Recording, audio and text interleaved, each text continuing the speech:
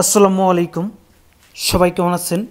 দেশ এবং প্রবাস থেকে এই মুহূর্তে যারা ভিডিওটা দেখছেন, সবাইকে আমার ইউটিউব চ্যানেলে শুভেচ্ছা এবং স্বাগতম। আজকের ভিডিওতে আমি সিমেন্টের দাম আপনাদের সামনে তুলে ধরবো। বর্তমান বাজারে প্রতি ব্যাগ সিমেন্ট কত টাকা চলতেছে, তো আপডেট দামটি জানতে ভিডিওটি শেষ পর্যন্ত দেখে যাবেন। আর ভিডিওটি ভালো লাগলে প্লিজ আমার চ্যানেলটি সাবস্ক্রাইব করুন। যারা করছেন তাদেরকে অসংখ্য অসংখ্য ধন্যবাদ। তো বেশি কথা না বাড়িয়ে চলুন আমরা সিমেন্টের বর্তমান দামগুলো জেনে নেই।